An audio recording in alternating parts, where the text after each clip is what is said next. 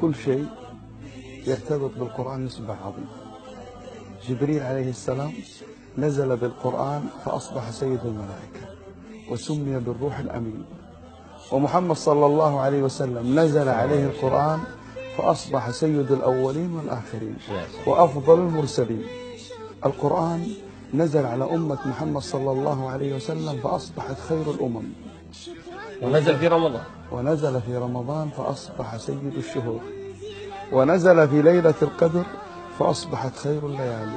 ووالله الذي لا إله إلا هو. أن القرآن إذا نزل في قلب إنسان أصبح خير الناس.